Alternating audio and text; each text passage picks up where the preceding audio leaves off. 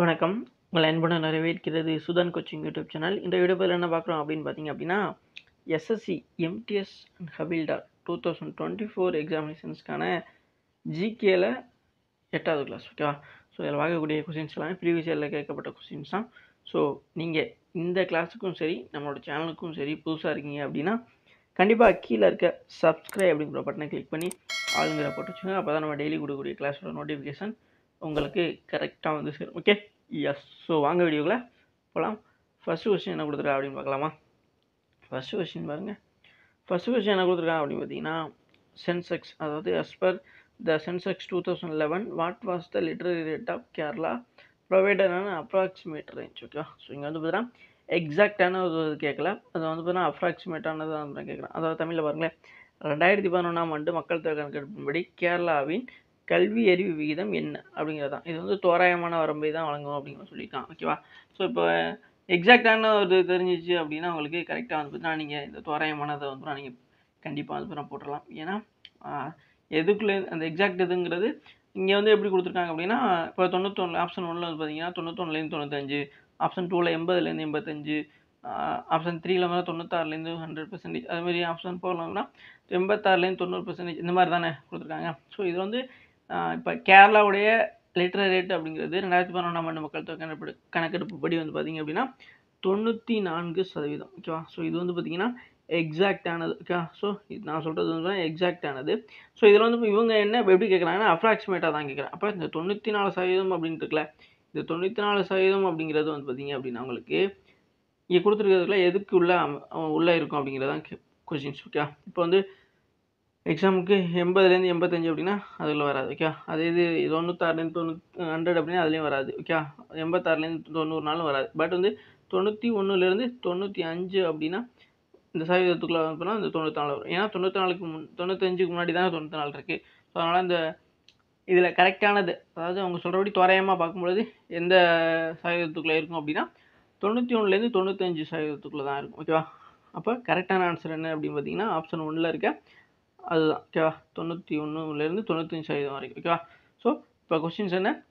ரெண்டாயிரத்தி பதினொன்றாம் ஆண்டு மக்கள் தொகை கணக்கெடுப்புப்படி கேரளாவின் கல்வி அறிவு விகிதம் என்ன அப்படின்னு பார்க்கும்பொழுது இவங்க வந்து தோராயமான மாதிரி கேட்குறாங்க ஓகே ஸோ இதுக்குள்ளேருந்து இப்போ வந்து நம்ம எக்ஸாக்டானது தெரிஞ்சால் மட்டும்தான் அப்போ இதுக்குள்ளேருந்து இதுக்குள்ளே தான் இருக்குது அந்த நம்பரு ஸோ அதனால் இப்போ தொண்ணூத்தொன்னுலேருந்து தொண்ணூத்தஞ்சு சதவீதம் அப்படிங்கிறத நம்ம சொல்ல முடியும். ஓகே ஸோ அதனால் நீங்கள் சரியானது. அதாவது கேரளாவுடைய லிட்டர் ரேட் ரெண்டாயிரத்தி பன்னெண்டாம் ஆண்டு மக்கள் தொகை கணக்கெடுப்புப்படி வந்து கேரளா மாநிலத்துடைய லிட்டர் ரேட் அப்படிங்கிறது கரெக்டானது என்ன அப்படின்னா தொண்ணூற்றி நாலு சதவீதம். இதில் இவங்க வந்து எந்த- எத்தனை எந்த சதவீதத்துக்குள்ளே இந்த தொண்ணூற்றி நாலு இது இருக்குது அப்படின்னு பார்த்தீங்கன்னா தொண்ணூத்தொன்னு தொண்ணூத்தஞ்சுக்குள்ளே தான் இருக்கும். ஸோ அதனால தான் இவங்க இந்த மாதிரி கேட்கலாம். இப்போ வந்து நமக்கு எக்ஸாக்ட் தெரிஞ்சால் மட்டும்தான் நம்ம வந்து அப்ராக்சிமேட்டாக சொல்ல முடியும். புரியுதுங்களா உங்களுக்கு? ஸோ அதனால் ஒரே கொஸ்டின் ஒன்று தான் பட் வந்து அது கேட்கக்கூடிய விதம் தான் மாறுபடுதே தவிர ஸோ அதனால் கண்டிப்பாக இந்த கொஸ்டின் தெரிஞ்சு வச்சுருப்பீங்கன்னு நினைக்கிறேன். ஸோ தெரியல அப்படின்னா நோட் பண்ணி வச்சுக்கோங்க. எப்போதுமே ஒவ்வொரு எந்த செட்டாக இருந்தாலும் சரி நீங்கள் எந்த எஸ்எஸ்சி எம்டிஎஸ்எல் நீங்கள் எந்த செட் எழுதினாலுமே கண்டிப்பாக வந்து இந்த சென்செக்ஸை வச்சு வந்து ஒரு கொஷின்ஸ் அப்படிங்கிறது இருக்கும். ஸோ அது இந்த கொஷின்ஸாக கூட இருக்கலாம். ஸோ அதனால் கண்டிப்பாக வந்து நீங்கள் தெரிஞ்சு வச்சுக்கிறீங்க ஓகேவா ஸோ நெக்ஸ்ட் கொஷின் பார்க்கலாமா? ஸோ நெக்ஸ்ட் கொஷின் என்ன கொடுத்துருக்காங்க? நெக்ஸ்ட் கொஸ்டின் ஸோ என்ன கொடுத்துருக்காங்க அப்படின்னு பார்த்தீங்க அப்படின்னா in which of the following countries is zooming நவுனஸ் கொன்சோ ஓகேவா அதாவது என்ன சொல்கிறாங்க அப்படின்னா பின்வரும் எந்த நாடுகளில் ஜூமிங் கொனுக்கோ என்று அழைக்கப்படுகிறது. ஓகே ஸோ ஜூமிங்கிறது வந்து ஒரு ஹார்வெஸ்டிங் மெத்தட் ஓகே புரியுதுங்களா உங்களுக்கு? ஸோ அப்போ ஆப்ஷன் ஒன்றில் வந்து பார்த்தீங்க அப்படின்னா வியட்நாம். ஆப்ஷன் டூவில் வந்து இந்த யூஎஸ் அதாவது அமெரிக்கா. இந்த ஆப்ஷன் த்ரீயில் வந்து பார்த்தீங்க அப்படின்னா உங்களுக்கு வெனிசுலா ஓகே ஆப்ஷன் ஃபோரில் வந்து பார்த்தீங்க அப்படின்னா மடாகஸ்கர் ஓகே ஸோ இதில் வந்து கொனுஸ் கொனுஹோ ஓகே கொனுஹோ அப்படிங்கிற இது முறையில் அதாவது ஜூமிங் வந்து பார்த்தீங்கன்னா கொனுஹோ அப்படிங்கிற மாதிரியான சொல்லக்கூடிய கண்ட்ரி எதுன்னு பார்த்தீங்க அப்படின்னா உங்களுக்கு கரெக்டான ஆன்சர் ஆப்ஷன் த்ரீயில் உள்ள வெனிசுலா. ஓகே ஸோ வெனிசுலாவில் தான் வந்து பார்த்தீங்க அப்படின்னா இந்த ஜூமிங்கிறத வந்து பார்த்தீங்கன்னா உங்களுக்கு கோன் கோன்ஹோ அப்படிங்கிற மாதிரி தான் சொல்கிறாங்க ஓகே ஸோ கோன்ஹோ அப்படின்னு அழைக்க எந்த நாட்டில் வந்து பார்த்தீங்கன்னா ஜூமிங்க சொல்கிறாங்க அப்படின்னு பார்த்தீங்கன்னா வெனிசுலா. ஓகே புரிஞ்சிருக்குன்னு நினைக்கிறேன். அப்போ கரெக்டான ஆன்சர் வந்து வெனிசுலா. ஓகே ஸோ வெனிசுலா நாட்டில் தான் ஜூமிங்க கோனுகோ அப்படிங்கிற மாதிரி சொல்கிறாங்க இது வந்து பார்த்தீங்கன்னா உங்களுக்கு ஜாகிரஃபி டாப்பிக்கில் வந்து வரக்கூடிய ஒன்று ஓகேவா ஸோ தெரிஞ்சு வச்சுக்கிறேங்க. இப்போ வந்து நம்ம ஊர்லேயே வந்து ஒவ்வொரு ஊர்லேயுமே வந்து ஒவ்வொரு விதமாக சொல்லுவாங்க. ஓகேவா ஸோ விவசாய முறையை. ஸோ அதுதான் வந்து இவங்க இப்போ கொஞ்சம் வெளியே போய் கண்ட்ரியை வச்சு வந்து கொஸ்டின்ஸ் நமக்கு கேட்டிருக்காங்க. புரிஞ்சிருக்குன்னு நினைக்கிறேன். ஸோ இப்போ நெக்ஸ்ட் கொஸ்டின் பார்க்கலாமா? ஸோ நெக்ஸ்ட் கொஸ்டின் பாருங்கள் ஸோ நெக்ஸ்ட் கொஸ்டின் என்ன கொடுத்துருக்காங்க? இன் விச் ஸ்டேட் இஸ் ஓகேவா so in which state of India is சங்காதவா or the triple plus festival celebrator ஓகேவா ஸோ அதாவது என்ன சொல்கிறாங்கன்னா இந்தியாவின் எந்த மாநிலத்தில் சகாதவா ஓகேவா அன்ட்டு த அல்லது மூன்று ஆசீர்வதிக்கப்பட்ட திருவிழா என்ன கொண்டாடப்படுகிறது ஓகேவா ஸோ இப்போ சங்காதவா அப்படிங்கிற சகாதவா அப்படிங்கிற ஒரு ஃபெஸ்டிவல் இருக்குல்ல அதோட இன்னொரு நேம் தான் வந்து பார்த்திங்க அப்படின்னா உங்களுக்கு ட்ரிபிள் ப்ளஸ்டு ஃபெஸ்டிவல் அப்படின்னு சொல்கிறாங்க ஓகே ஸோ அப்போ இந்த ட்ரிபிள் ப்ளஸ்டு ஃபெஸ்டிவல்னாலும் சரி சகாதவா அப்படின்னு சொன்னாலும் சரி ரெண்டுமே ஒரே ஃபெஸ்டிவல் தான். கேஸ் அதை புரிஞ்சுக்கிறீங்க இங்கே ஆப்ஷன்ஸில் என்னென்ன மாநிலங்கள் கொடுத்துருக்காங்க? ஆப்ஷன் ஒன்றில் கர்நாடகா கேஸ் ஆப்ஷன் டூவில் வந்து ஆந்திர பிரதேஷ். ஆப்ஷன் த்ரீல வந்து உத்தரப்பிரதேஷ். அண்ட் ஆப்ஷன் ஃபோரில் வந்து பார்த்திங்க அப்படின்னா சிக்கிம். இந்த மாதிரி கொடுத்துருக்காங்கல்ல. இதில் இந்த சகாதவா அப்படிங்கிற இந்த இதை வந்து பார்த்தீங்கன்னா ஃபெஸ்டிவல் வந்து செலிப்ரேட் பண்ணக்கூடிய மாநிலம் எதுன்னு பார்த்தீங்க அப்படின்னா உங்களுக்கு ஆப்ஷன் ஃபோரில் இருக்க சிக்கிம். ஸோ சிக்கிமில் தான் வந்து பார்த்தீங்க அப்படின்னா இந்த சங்கா சகாதவா டபுள் ப்ளஸ் ஃபெஸ்டிவல் அப்படிங்கிறது கொண்டாடப்படுது. ஓகே புரிஞ்சுச்சா? ஸோ சிம்பிளான ஒன்று ஸோ அதனால் கண்டிப்பாக புரிஞ்சிருக்குன்னு நினைக்கிறேன் உங்களுக்கு. சரிங்களா? ஸோ அப்போ இந்த சங்காதவா அப்படிங்கிறது வந்து பார்த்தீங்க அப்படின்னா எங்கே கொண்டாடப்படக்கூடிய ஃபெஸ்டிவல் அப்படின்னு பார்த்தீங்கன்னா சிக்கிம் மாநிலத்தில் இந்த சங்காதவா சகா சாரி சங்கானே வருதுவாங்க சகாதவா அப்படிங்கிற ஃபெஸ்டிவல் வந்து பார்த்திங்க அப்படின்னா இன்னொரு பேர் என்னென்னா ட்ரிபிள் ப்ளஸ் ஃபெஸ்டிவல் தமிழில் எப்படி சொல்லுவாங்கன்னு பார்த்தீங்க அப்படின்னா மூன்று ஆசீர்வதிக்கப்பட்ட திருவிழா. ஓகே ஸோ மூன்று ஆசீர்வதிக்கப்பட்ட திருவிழா அப்படிங்கிற தமிழில் சொல்கிறாங்க ஓகே புரிஞ்சுக்கிறீங்க? ஏன்னா நிறைய பேர் தமிழில் தான் தேர்வு எழுத போகிறதுனால தமிழில் இருக்கிறத நல்லா தெரிஞ்சு வச்சுக்கணும் அப்படிங்கிறத நான் சொல்லக்கூடிய ஓகேவா ஸோ நெக்ஸ்ட் கொஸ்டின் பார்க்கலாமா? ஸோ நெக்ஸ்ட் கொஸ்டின் பார்க்கலாம். ஸோ இந்த மாதிரி வந்து பார்த்தீங்கன்னா நமக்கு எந்த எந்த மாநிலத்தில் எந்த மாதிரியான விழாக்கள் திருவிழாக்கள் கொண்டாடப்படக்கூடியது அப்படிங்கிறதுலேருந்து ஒரு ஒரு கொஸ்டின்ஸும் அதே மாதிரி டான்சர்ஸ் இருக்குல்ல. ஸோ டான்சர்ஸ்லேருந்து ஒரு கொஸ்டின்ஸும் அல்லது ரெண்டு கொஸ்டின்ஸும் வந்து கேட்பாங்க. ஸோ அதனால் கண்டிப்பாக நான் நம்ம கிளாஸஸில் சொல்லக்கூடியதையும் எக்ஸ்ட்ரா இன்ஃபர்மேஷன்ஸையும் வந்து கண்டிப்பாக தெரிஞ்சு வச்சுக்கிறேங்க அதை நோட் பண்ணி ரிவிஷனும் பார்த்துங்க. ஓகேவா ஸோ புரிஞ்சிருக்கணும்னு நினைக்கிறேன். இப்போ நெக்ஸ்ட் கொஸ்டின் பார்க்கலாமா? ஸோ நெக்ஸ்ட் கொஸ்டின் பாருங்கள் according to the Indian constitution the prime minister shall be appointed by the days okay so அதாவது என்ன சொல்கிறாங்க அப்படின்னா இந்திய அரசியலமைப்பின்படி பிரதமர் டேஸால் நியமிக்கப்படுவார். ஓகே ஸோ இங்கே யாரால் வந்துனா பிரதமர் வந்து நியமிக்கப்படுறார் அப்படிங்கிறது தான் கொஸ்டின்ஸ் ஓகே ஸோ ஆப்ஷன் ஒன்ல speaker of the house of people அதாவது மக்கள் மக்கள் சபையின் சபாநாயகர். ஓகே மக்களவையின் சபாநாயகர் அப்படிங்கிறது தான் சொல்கிறாங்க ஆப்ஷன் டூவில் வந்து பார்த்தீங்க அப்படின்னா president of the India okay அதாவது இந்திய ஜனாதிபதி. ஆப்ஷன் த்ரீல கவுன்சில் ஆஃப் மினிஸ்டர் அதாவது அமைச்சர்கள் கவுன்சில் அண்ட் ஆப்ஷன் ஃபோரில் வந்து chief justice of the India அப்படிங்கிற மாதிரி சொல்கிறாங்க ஓகேவா ஸோ இதில் பிரைம் மினிஸ்டர் இருக்காங்களா அவங்கள யார் அப்பாயின்மெண்ட் பண்ணுவா நியமிப்பா அப்படின்னு பார்த்தீங்க அப்படின்னா பிரசிடெண்ட் தான். ஓகே ஆப்ஷன் த்ரீயில் இருக்காங்களே ஸோ இந்திய ஜனாதிபதியால் தான் வந்து பார்த்தீங்கன்னா பிரதமர் அப்படிங்கிறவங்க வந்து பார்த்தீங்க அப்படின்னா நியமிக்கப்படுறாங்க ஓகேவா புரிஞ்சிருக்குன்னு நினைக்கிறேன். ஸோ பிரதமரை நியமிக்கக்கூடியவங்க யார் அப்படின்னா இந்திய ஜனாதிபதி. புரியுதா? ஸோ குடியரசுத் தலைவர் அப்படிங்கிற மாதிரி வந்து நம்ம வேறு பேர்லையும் சொல்லலாம். ஓகேவா ஸோ பிரசிடென்ட் ஆஃப் இந்தியா தான் வந்துடா பிரைம் மினிஸ்டர் வந்து அப்பாயின்மெண்ட் பண்ணுறான் ஓகே புரிஞ்சிருக்குன்னு நினைக்கிறேன். ஸோ பிரதமர் ஆகிறவர் வந்து பார்த்திங்க அப்படின்னா அவர் தங்களுடைய கட்சியில் வந்து பார்த்தீங்கன்னா பெருமை பல பெரும்பான்மையான உறுப்பினர்களுடைய ஆதரவை பெற்றவராக வந்து இருக்கணும். ஸோ அப்போ தான் வந்து பார்த்திங்க அப்படின்னா இந்திய ஜனாதிபதி வந்து அவர் பிரதமராக நியமிக்கப்படுவார். ஓகே அப்படிங்களா ஸோ இண்டிவிஜுவலாக வந்து பார்த்தீங்கன்னா எந்த ஒரு இதையுமே வந்து எடுக்க முடியாது அப்படிங்கிறதுக்கு தான் இந்த ஒரு விஷயம் வந்து சொல்லப்படுது. ஓகேவா புரிஞ்சிருக்கும்னு நினைக்கிறேன். ஸோ நெக்ஸ்ட் கொஷின் பார்க்கலாமா? ஸோ நெக்ஸ்ட் கொஸ்டின் பார்க்கலாம். நெக்ஸ்ட் கொஷின் என்ன கொடுத்துருக்காங்க? ஸோ நெக்ஸ்ட் கொஷின் என்ன கொடுத்துருக்காங்க அப்படின்னா X aged ten okay so அதாவது is employed at the factory which of the following rights of X is being violated அதாவது என்ன சொல்கிறாங்க அப்படின்னா எக்ஸ் அப்படிங்கிறவனுக்கு வந்து பத்து வயசு ஓகேவா ஒரு தொழிற்சாலையில் வேலை செய்கிறார். எக்ஸ் பின்வரும் உரிமைகளை எது மீறப்படுகிறது ஓகேவா இப்போ எக்ஸுங்கிறவனுக்கு வயசு பத்து அவன் வந்து ஒரு தொழிற்சாலை வேலை பார்க்குறேன் அப்படிங்கிறத நம்ம வந்து தான் சொல்கிறான் ஓகே புரிஞ்சுங்களா? அப்போ இங்கே சொல்லியிருக்க சுச்சுவேஷன்ஸில் எந்த உரிமை வந்து மீறப்படுது அப்படிங்கிறத தான் இங்கே கொஸ்டின்ஸ் கேட்குறான் ஓகேவா ஸோ ஆப்ஷன் ஒன்றில் வந்து right to freedom of religion ஓகேவா அதாவது மத சுதந்திரத்துக்கான உரிமை. ஆப்ஷன் டூவில் வந்து ரைட் அகேன்ஸ்ட் எக்ஸ்பிளனேஷன் ஓகே சுரண்டலுக்கு எதிரான உரிமை. ஆப்ஷன் த்ரீயில் வந்து பார்த்திங்க அப்படின்னா ரைட் டு ஈக்குவாலிட்டி சமத்துவத்திற்கான உரிமை. ஆப்ஷன் ஃபோரில் வந்து சுதந்திரத்திற்கான அதாவது ரைட் டு ஃப்ரீடம் ரைட் அதாவது சுதந்திரத்துக்கான உரிமை அப்படிங்கிறது சொல்லப்படுது. ஓகேவா புரிஞ்சுக்கணும்னு நினைக்கிறேன். ஸோ இதில் வந்து இந்த எக்ஸ் அப்படிங்கிற பத்து வயசு எக்ஸுங்கிற பத்து வயசு அவன் தொழிற்சாலை வேலை பார்க்குறேன் அப்படிங்கிறது இது எந்த உரிமையில் மீறப்படுது அப்படின்னு பார்க்கும்பொழுது நமக்கு ஆப்ஷன் டூவில் இருக்க right to right against explanation ஓகேவா அதாவது சுரண்டலுக்கு எதிரான உரிமை. ஓகேவா ஸோ இதுக்கான ஆர்டிக்கல் வந்து பார்த்திங்க அப்படின்னா இருபத்தி மூணு இருபத்தி நாலு. ஓகேவா ஸோ இருபத்தி மூணு இருபத்தி நாலுங்கிறது வந்து இந்த சுரண்டலுக்கு எதிரான உரிமைகளை வந்து சொல்லக்கூடிய ஆர்டிக்கலாக வந்து இருக்கும். ஒன்று வந்து பார்த்திங்க அப்படின்னா உங்களுக்கு கொத்தடிமை. யா ஸோ அதை சொல்லப்படும். இன்னொன்று வந்து பார்த்தீங்க அப்படின்னா குழந்தை தொழிலாளர் வந்து தான் சொல்லக்கூடியதாக தான் இருக்கும். ஓகேவா ஸோ இந்த ரெண்டு ஆர்டிக்கல் வந்து பார்த்தீங்கன்னா இது சொல்லதாக இருக்கும். ஓகேவா புரிஞ்சிருக்குன்னு நினைக்கிறேன். இந்த ரைட் டு ஈக்குவாலிட்டி அப்படிங்கிறது வந்து பார்த்தீங்கன்னா உங்களுக்கு ஆர்டிக்கல் பதினாலு டு பதினெட்டு சொல்லலாம். ஓகேவா? ஸோ அடுத்து ஆர்டிக்கல் ரைட் டு ஃப்ரீடம்ங்கிறது ஓகேவா? ஸோ அது வந்து பார்த்தீங்க அப்படின்னா பத்தொம்போதுலேருந்து இருபத்தி ஒன்று வரைக்கும் சொல்லப்படுது. ஓகேவா? ஸோ புரிஞ்சிருக்குன்னு நினைக்கிறேன். ஓகேவா? ஆ நெக்ஸ்ட்டு பார்த்தீங்க அப்படின்னா சாரி பத்தொம்பதுலேருந்து இருபத்தி ரெண்டு வரைக்கும். நெக்ஸ்ட்டு பார்த்தீங்க அப்படின்னா உங்களுக்கு ரைட் டு அகேன்ஸ்ட் அப்படிங்கிறது நான் ஆல்ரெடி சொல்லிட்டேன். இருபத்தி மூணுலேருந்து ஓகேவா இருபத்தி மூணுலேருந்து இருபத்தி நாலு ஓகே அடுத்து right to freedom of religions வந்து பார்த்தீங்கன்னா அதுலேருந்து கண்டினியூட்டியாக இருக்கும். இருபத்தஞ்சிலேருந்து ஓகேவா புரிஞ்சிருக்கும்னு நினைக்கிறேன். ஸோ நெக்ஸ்ட் கொஸ்டின் பார்க்கலாமா? நெக்ஸ்ட் கொஸ்டின் என்ன கொடுத்துருக்காங்க? இருபத்தஞ்சிலேருந்து இருபத்தெட்டு நினைக்கிறேன். So right to freedom of religion அப்படிங்கிறது இருபத்தஞ்சி டு இருபத்தி எட்டு ஓகேவா கரெக்டாக தான் சொல்லியிருக்கேன்.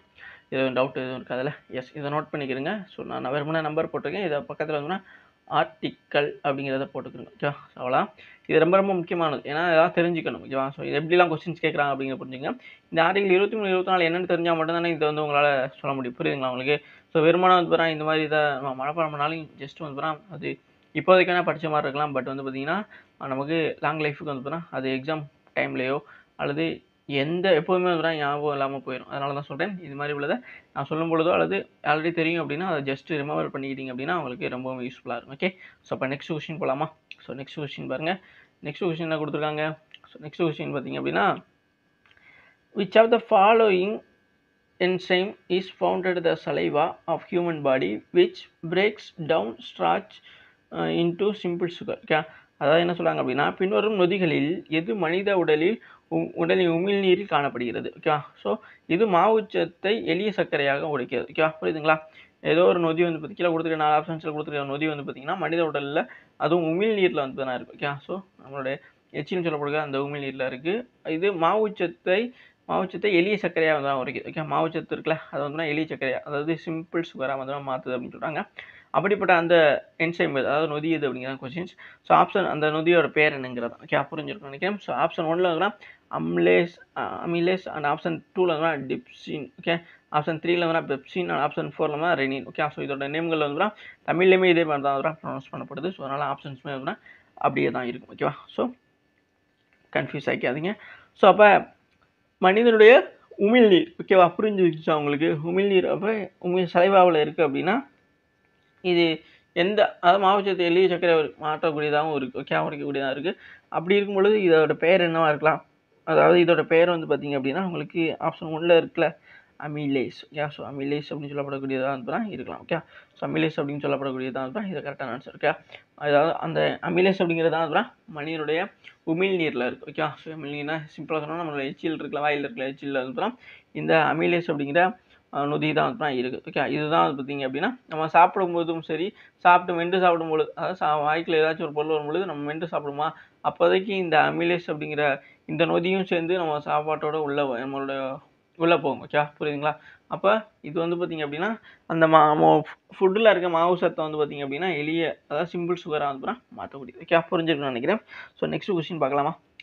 ஸோ இது வந்து சயின்ஸ்லேருந்து கேட்கப்படக்கூடிய ஒரு கொஸ்டின் ஸோ அதனால் கண்டிப்பாக தெரிஞ்சு வச்சுக்கோங்க ஓகே ஸோ எந்த அளவுக்கு போய் டெப்த்தாக கேட்குறாங்க அப்படிங்கிறதையும் உங்களால் புரிஞ்சுக்கிற முடியும். ஸோ இப்போ நெக்ஸ்ட் கொஸ்டின் போகலாமா நெக்ஸ்ட் கொஸ்டின் பாருங்கள் ஸோ நெக்ஸ்ட் கொஸ்டின் என்ன கொடுத்துருக்காங்க? The amount of the work done is moving a charge of four C okay across the two point having a potential difference of six volt is ஓகேவா அதாவது இப்போ தமிழில் பாருங்களேன். Six world in சாத்தியமான வேறுபாட்டை கொண்டது ஓகே ஸோ இந்த இரண்டு புள்ளிகளில் நான்கு சி கட்டணத்தை நகர்த்துவதால் செய்யப்படும் வேலையின் அளவு என்ன ஓகே ஸோ இங்கே வந்து பார்த்தீங்கன்னா இது இருக்குல்ல வெப்பத்தை பற்றி தான் சொல்லலாம் ஓகே புரியுது? அதாவது வேலையை பற்றி தான் சொல்லலாம் ஓகேவா ஸோ இது வந்து பார்த்தீங்கன்னா ஜே அதாவது ஜூலுங்கிற மாதிரி வந்து நம்ம அளக்கப்படுகிறது ஓகே புரிஞ்சிருக்குன்னு நினைக்கிறேன். ஸோ அப்போ இங்கே வந்து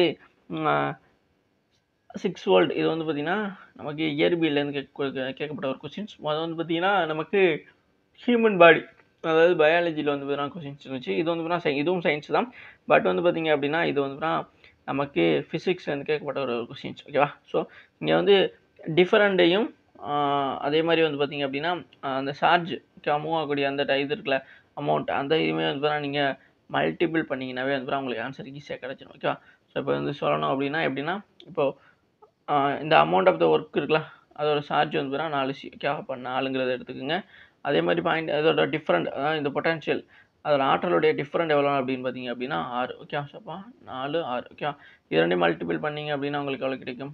ஆறு நாங்கள் இருபத்தி நான்கு ஓகே ஸோ இருபத்தி நான்கு இங்கே ஜூல் அப்படிங்கிற மாதிரி போட்டுக்கிறோம். அப்போ ஜே போட்டுக்கலாம். ஓகே ஸோ அப்போ இங்கேருந்து இருபத்தி நாலு ஜே அப்படிங்கிறது இங்கே இருக்குது அப்படின்னு பார்த்தீங்கன்னா ஆப்ஷன் ஃபோர் ஓகே ஸோ மற்ற எந்த ஆப்ஷன்ஸும் வராது. ஓகே புரியுதுங்களா உங்களுக்கு? ஸோ சிம்பிளாக இந்த மாதிரி தான் நீங்கள் எடுத்துக்கணும். இந்த மாதிரி வேறு எப்படி எப்படின்னா இந்த மாதிரி six volt four C okay இந்த மாதிரி வந்துட்டாவே அதாவது கூல் சிங்கிறது கூலும் ஓகேவா ஸோ என்னடா ஃபோர் சி ஃபோர் சின்னு சொல்லி கேட்டுக்கான்னு யோசிக்காதீங்க. ஃபோ சிங்கிறது கூலும் விங்கிறது வால்ட் ஓகேவா புரி புரியுதுங்களா? ஸோ ஜேங்கிறது ஜூல் ஓகேவா அப்போ இது ரெண்டையும் மல்டி மல்டிபிள் பண்ணோம் அப்படின்னா நமக்கு இருபத்தி நாலு ஜூல் அப்படிங்கிறது அதாவது ஜேங்கிற மாதிரி இருந்தால் கிடைக்குது ஓகே புரிஞ்சிருக்குன்னு நினைக்கிறேன். அப்போ கரெக்டான ஆன்சர் வந்துன்னா ஆப்ஷன் ஃபோரில் இருக்க டுவெண்ட்டி ஃபோர் ஜி ஓகே புரிஞ்சிருக்கணும் நெக்ஸ்ட் கொஸ்டின் பார்க்கலாமா? நெக்ஸ்ட் கொஸ்டின் பாருங்கள் ஸோ நெக்ஸ்ட் கொஸ்டின் கொடுத்துருக்காங்க? Which of the following statement about Veda Samaj is correct ஓகேவா ஸோ வேத சமாஜில் இது இது வந்து கரெக்ட் அப்படிங்கிறத கேட்குறான். ஓகே ஸோ இந்த மாதிரியான டைப்பும் கேட்குறாங்க. ஓகேவா முதல்ல வந்து இந்த எஸ்எஸ்சி சிஜிஎல் சிஹெச்எஸ்எல்ல தான் வந்து இது மாதிரி வந்து பாயிண்ட் அவுட் பண்ணிவிட்டு அதை எது ரெண்டு கரெக்டு எது ஒன்று அந்த மாதிரி கேட்ப கொஸ்டின்ஸ் கேட்பாங்க. இப்போ வந்து பார்த்தீங்கன்னா எம்டிஎஸ்மே வந்து வந்துட்டான். ஏன்? ஜிடிலையுமே வந்து இந்த மாதிரியான கொஸ்டின்ஸ் வந்து கொண்டு வந்துட்டாங்க. ஏன்னா அந்தளவுக்கான காம்படிஷன் இருக்கிறதுனால தான் வந்து கொஸ்டின்ஸுமே வந்து டஃப்னஸ் கொண்டு வராங்க. புரிஞ்சுக்குங்க. ஓகேவா இங்கே வந்து ரெண்டு பாயிண்ட் கொடுத்துருக்காங்க. அதாவது வேத சமாஜை பற்றி தான் கேட்டிருக்காங்க. இதில் எது கரெக்ட் அப்படிங்கிற மாதிரி தான் கேட்டிருக்காங்க. ஓகே ஆப்ஷன் ஒன்றில் அதாவது ஒன்றாவது பாயிண்ட் என்னன்னா it was established in Madras in two eighteen sixty four okay அதாவது வேத சமாஜை பற்றி தான் இங்கே கேட்குறாங்க. இது வந்து பார்த்தீங்கன்னா ஆயிரத்தி எண்ணூற்றி அறுபத்தி நாலில் மெட்ராஸில் நிறுவப்பட்டது அப்படின்னு சொல்கிறாங்க ஃபஸ்ட்டு பாயிண்ட் ஓகே ஸோ அப்போ இது கரெக்டாக இது கரெக்டாக தான். ஓகே ஸோ நெக்ஸ்ட் பார்த்தீங்க அப்படின்னா it worked to abolish caste distinction and the promote widow remarriage and the women's education ஓகேவா அது என்ன சொல்லுவாங்க அப்படின்னா ரெண்டாவது பாயிண்டில் இது அதாவது இந்த வேத சமாஜ் இருக்குல்ல அதுதான். அது வந்து பார்த்தீங்கன்னா சாதி வேறுபாடுகளை ஒழிக்கவும் விதவை மறுமணம் மற்றும் பெண்களின் கல்வியை ஊக்குவிக்கவும் வேலை செய்தது. ஓகேவா ஸோ ஃபர்ஸ்ட் வந்து பார்த்தீங்கன்னா இந்த வேத சமாஜ் அப்படிங்கிறது வந்து பார்த்தீங்க அப்படின்னா எங்கே தொடங்கப்பட்டது? அதுக்கப்புறம் அது எந்த வருஷம் தொடங்கப்பட்டது அப்படிங்கிறத வந்து நான் சொல்கிறாங்க அது கரெக்டாக அப்படின்னு பார்த்தீங்க அப்படின்னா எக்ஸாக்டாகவே வந்து கரெக்டான ஒன்று தான் ஓகே புரிஞ்சிருக்கும் நினைக்கிறேன். அதாவது ஆயிரத்தி எண்ணூற்றி அறுபத்தி நாலு தான் இது தொடங்கப்படுது அதுவும் மெட்ராஸில். ஓகேவா ஸோ நம்ம இப்போதைக்கு சென்னைன்னு சொல்கிறாங்களா அங்கே தான் வந்து ஸ்டார்ட் பண்ணப்படுது ஓகேவா ஸோ ஆயிரத்தி எண்ணூற்றி அறுபத்தி நாலில் வேத சமாஜ்ங்கிறது மெட்ராஸ்லாம் தொடங்கப்பட்டது. ஓகே அது கரெக்ட் ஓகேவா ஸோ ஒன்றாவது இங்கே ரெண்டாவதுன்னு போட்டுக்கலாம். ஏன்னா ரெண்டு பாயிண்ட் தான் இருக்குது இதில் எது கரெக்ட் அப்படின்னு பார்க்கும்பொழுது ஒன்றாவதும் correct okay so next next point பார்த்தீங்க அப்படின்னா இட் ஒர்க்ஸ் அப்பாலிஸ்ட் கேஸ்ட் அதாவது இது வந்து பார்த்தீங்கன்னா சாதி வேறுபாடுகளை ஒழிக்க அதுவும் கரெக்டு அதே மாதிரி ப்ரொமோட் த விடோரி மேரேஜ் அதாவது விதவை வருமானம். அதே மாதிரி பெண்களுக்கான கல்வி இந்த விஷயத்தெல்லாம் அதெல்லாம் சொன்னிச்சா அப்படின்னு பார்த்தீங்க அப்படின்னா கண்டிப்பாக இந்த மூணு விஷயத்தையும் அதுதான் ரொம்பவுமே வந்து ஆக்கப்பூர்வமாக வந்து தான் செஞ்சுருக்கும். ஸோ அதனால் இது ரெண்டுமே கரெக்ட் அப்படிங்கிற மாதிரி நம்ம சொல்லலாம். ஓகே ஸோ ஒன்றாவதும் கரெக்டு ரெண்டாவதும் இதில் கரெக்ட் அப்படிங்கிறத சொல்லலாம். ஸோ அப்போ இதில் ஒன்று ரெண்டும் கரெக்ட் அப்படின்னால இது ரெண்டும் கரெக்ட் அப்படிங்கிற மாதிரி சொல்லப்படக்கூடிய ஆப்ஷன்ஸ் தான் நம்ம தேடணும். இங்கே ஆப்ஷன் ஒன்றில் வந்துன்னா ஒன்று அல்லது இரண்டு இல்லை. ஓகே அப்படின்னு சொல்லியிருக்காங்க. ஆப்ஷன் டூவில் ஒன்லி டூ அதாவது இரண்டு மட்டும். ஆப்ஷன் த்ரீல வந்து போத் ஒன்று மற்றும் இரண்டும். ஆப்ஷன் ஃபோரில் வந்து ஒன்லி அதாவது ஒன்று மட்டும் அப்படின்னு சொல்லியிருக்காங்க. ஓகே ஸோ நான் ஆல்ரெடி சொல்லிட்டோம். ஆன்சர் கண்டுபிடிச்சிட்டோம். அதாவது ரெண்டுமே அதாவது ரெண்டுமே கரெக்ட் அப்படிங்கிறதா இப்போ ரெண்டுமே கரெக்டுங்கிறது எந்த ஆப்ஷனில் இருக்குது அப்படின்னா ஆப்ஷன் த்ரீல இருக்குது ஓகே புரிஞ்சிச்சா? ஸோ ஆப்ஷன் த்ரீல தான் ஒன்று மட்டும் இரண்டுமே இருக்குன்னா இதில் சரியானது அப்படிங்கிறத நம்ம சொல்ல முடியும். ஓகே ஸோ இதில் நம்ம இங்கே ஒன்று ரெண்டும் சரி அப்படிங்கிறத சொல்கிறத காட்டிலும் இதில் நம்ம தெரிஞ்சிக்க வேண்டியது இந்த கொஸ்டின்ஸை பார்க்கும்பொழுது வேத சமாஜ் அப்படிங்கிறத வந்து பார்த்திங்கன்னா தெரிஞ்சுக்கணும். உங்களுக்கு தெரியலனா அப்படி சொல்கிறேன் ஓகே ஸோ தெரியும் அப்படின்னா ஜஸ்ட் ஞாபகப்படுத்தி பாருங்கள் வேத சமாஜ்ங்கிறது எங்கே தொடங்கப்பட்டதுன்னா மெட்ராஸில் எந்த வருஷம் அப்படின்னா ஆயிரத்தி எண்ணூற்றி அறுபத்தி நாலில். இது எந்த விஷயத்துக்காக பெருமளவில் பேசப்படுது அப்படின்னா அப்பாலி அதாவது சாதி சாதிய வேறுபாடு தமிழில் பார்த்துக்கிறங்க ஓகேவா ஸோ இங்கிலீஷில் உங்களுக்கு கன்ஃபியூஸாக இருந்துச்சு அப்படின்னா கேஸ்ட் அப் இது abolish the caste distinction and the promote the widow marriage okay so பெண்களுடைய அதாவது விதவை இருக்காங்களா அவங்களுடைய மறுமணம். அதேமாதிரி விமன்ஸ் எஜுகேஷன் பெண்களுக்கான கல்வியை வந்து பார்த்தீங்கன்னா இது வந்து பார்த்திங்க அப்படின்னா ஊக்குவிக்கிறதுக்காக வந்து வேலையை பண்ணுச்சு அப்படிங்கிறத சொல்கிறாங்க அப்போ இது ரெண்டுமே கரெக்டானது இது ரெண்டுமே தெரிஞ்சுக்கணும் ஓகே ஸோ அப்போ நெக்ஸ்ட் கொஷின் பார்க்கலாமா? ஸோ நெக்ஸ்ட் கொஷின் பாருங்கள் ஸோ நெக்ஸ்ட் கொஷின் என்ன கொடுத்துருக்காங்க? அதாவது இந்த இங்கே டான்ஸர்ஸ் வச்சு கொஸ்டின்ஸ் கேட்பாங்க நான் ஆல்ரெடி சொன்னேன். முதல் ஃபெஸ்டிவல் பார்த்தோம். இப்போ டான்ஸர்ஸை வச்சு என்ன சொல்கிறாங்க பரதநாட்டியம் ஈஸியாக classical dance form of which of Indian state okay அதை என்ன சொல்கிறாங்க பரதநாட்டியம் எந்த இந்திய மாநிலத்தின் பாரம்பரிய நடன வடிவம்? ஓகே புரிஞ்சிச்சுங்களா உங்களுக்கு? ஸோ இப்போது ஆப்ஷன் ஒன்றில் வந்து கேரளா. ஆப்ஷன் டூவில் தமிழ்நாடு. ஆப்ஷன் த்ரீல வந்து அஸ்ஸாம் ஆப்ஷன் ஃபோரில் மணிப்பூர். ஓகேவா ஸோ இதில் எந்த மாநிலத்துடைய கிளாசிக்கல் டான்ஸ் அப்படிங்கிறது தான் இங்கே கொஸ்டின்ஸ் ஓகேவா பரதநாட்டியம்ங்கிறது. ஸோ இங்கே கொடுத்துருக்க மாநிலத்தில் அடிப்படையில் நமக்கு கரெக்டான ஆன்சர் வந்து பார்த்தீங்க அப்படின்னா த- எந்த மாநிலம் வரும்? ஸோ நிறைய பேருக்கு இப்போ டவுட் வரும். என்னென்னா அது பரதநாட்டியம் நம்ம மாநிலத்து அதாவது தமிழ்நாட்டில் ஆடுறாங்க. பட் வந்து வேற ஒரு மாநிலத்துலேருந்து வந்திருக்குமா அப்படிங்கிற ஒரு குழப்பமே நிறைய பேருக்கு வரும். ஓகேவா ஸோ அது நிறைய பேருக்கு வந்திருக்கு ஓகேவா ஸோ நிறைய பேருக்குமே வந்து கேட்டு ஏன்னா இப்போ ஒரு விஷயம் வந்து பார்த்தீங்கன்னா வேற ஒரு ஒரு ஊரில் வந்து பார்த்தீங்கன்னா ஸ்டார்ட் ஆகிருக்கு பட் வந்து பார்த்தீங்கன்னா அது பக்கத்தில் இருக்க ஒரு நாட்டிலையோ பக்கத்தில் இருக்க மாநிலத்திலையோ வந்து வந்து பார்த்தீங்கன்னா அது வரும் பொழுது அது இப்போ ரொம்ப அந்த மாநிலத்தில் வந்து ஹைப் ஆயிரும். பட் வந்து பார்த்தீங்கன்னா அது ஸ்டார்ட் ஆன ஆர்ஜினான இடம் இருக்கும்ல அதில் வந்து பார்த்தீங்க அப்படின்னா ரொம்ப இது லோ ஆயிரும். புரியுதுங்களா உங்களுக்கு? ஸோ அதனால் இந்த பரதநாட்டியங்கிறது எந்த மாநிலத்தில் வந்திருக்கும் அப்படிங்கிற ஒரு கன்ஃபியூஷன் நிறைய பேருக்கு இருக்கும் ஓகேவா ஸோ ஆனால் நிறைய பேருக்கு தெரியும். கரெக்டான தமிழ்நாடு தான். பட் வந்து அவங்களுக்குலாம் இந்த மாதிரி கொஷின்ஸ் வந்து கொஷின்ஸை இன்னமும் வந்து நம்ம சந்தேகத்தை ஏற்படுத்துற மாதிரியான அளவுக்கும் வந்து செட் பண்ண முடியும். ஓகே ஸோ அதனால தான் சொல்கிறேன் ஸோ அதனால் பரதநாட்டியம்ங்கிறது நிறைய பேர் யோசிச்சபடி வந்து பார்த்தீங்க அப்படின்னா உங்களுக்கு தமிழ்நாடு தான். ஓகேவா ஸோ தமிழ்நாடு நம்ம மாநிலத்தை சேர்ந்தது தான் அப்புறம் வரும். ஓகேவா ஸோ தமிழ்நாட்டை தமிழ்நாட்டுடைய கிளாசிக்கல் டான்ஸ் ஓகே ஸோ பாரம்பரிய நடனம் தான் வடி- வடிவம் தான் அப்புறம் இந்த பரதநாட்டியம்ங்கிறது. இது வந்து பார்த்திங்க அப்படின்னா வேறு எந்த ஒரு மாநிலத்திலும் தொடங்கல. நம்மளுடைய கிளாசிக்கல் டான்ஸாக தான் அப்புறம் இந்த பரதநாட்டியம் அப்படிங்கிறது இருக்கும் ஓகே புரிஞ்சுங்களா ஸோ இப்போ இங்கே அடுத்த வேறு என்னென்ன மாநிலம் கொடுத்துருக்கா அப்படின்னு பார்க்கும்பொழுது இங்கே என்னென்ன கொடுத்துருக்காங்கன்னா கேரளா இருக்குது அப்படின்னா கேரளாவில் ரெண்டு இருக்குது ஒன்று கதகளி ஓகேவா ஸோ அடுத்து மோகினி ஆட்டம் ஓகேவா அது ரெண்டும். தமிழ்நாட்டில் பரதநாட்டியம். அடுத்து அஸ்ஸாமில் வந்து பார்த்தீங்கன்னா அஸ்ஸாமில் என்ன இருக்குது சத்ரியா இருக்குது ஓகே ஸோ அஸ்ஸாமில் வந்து சத்ரியா இருக்குது ஓகே ஸோ அதே மாதிரி வந்துன்னா மணிப்பூரில் வந்துன்னா மணிப்பூரி ஓகே ஸோ மணிப்பூர் மணிப்புரி அஸ்ஸாமில் சத்ரியா ஓகேவா அதே மாதிரி தமிழ்நாட்டில் பரதநாட்டியம் கேரளாவில் ரெண்டு கிளாசிக்கல் டான்ஸர் ஓகேவா ஸோ சில நேரத்தில் கொஸ்டின்ஸ் எப்படி கேட்பாங்க அப்படின்னா இரண்டு கிளாசிக்கல் டான்ஸர்ஸ் கொண்ட மாநிலம் எது அப்படின்னு பார்க்கும்போது கேரளா தான். ஓகே புரிஞ்சுக்கலாம் ஏன்னா இந்த மாநிலத்தில் மட்டும் தான் ரெண்டு கிளாசிக்கல் டான்ஸஸ் இருக்குது மற்ற எல்லா மாநிலத்துலையுமே இப்போ நம்ம பார்த்துக்கலாம் மற்ற மூணு மாநிலத்தை பார்த்தீங்க அப்படின்னா ஒரு ஒரு கிளாசிக்கல் டான்ஸாக இருக்கும். ஓகே ஸோ இன்னுமே நாலஞ்சு இருக்குது ஸோ அதில் எல்லாத்துலேயுமே ஒன்று ஒன்று தான் இருக்கும். பட் வந்து பார்த்தீங்கன்னா தமிழ்நாட்டில் மட்டும்தான். சாரி கேரளாவில் மட்டும்தான் அப்படின்னா இரண்டு இருக்கும். ஒன்று கதகளி இன்னொன்று மோகினியார். ஓகே புரிஞ்சிருக்கணும் நினைக்கிறோம் ஸோ அப்போ நெக்ஸ்ட் கொஸ்டின் போகலாமா ஸோ நெக்ஸ்ட் கொஸ்டின் பாருங்கள் ஸோ இங்கே நான் எக்ஸ்ட்ரா இன்ஃபர்மேஷன் சொன்னதை தெரிஞ்சு வச்சுக்கிறேங்க. அல்லது நோட் பண்ண வச்சுக்கிட்டாலும் சரி தான் ஓகேவா ஸோ நெக்ஸ்ட் கொஸ்டின் பார்க்கலாம்.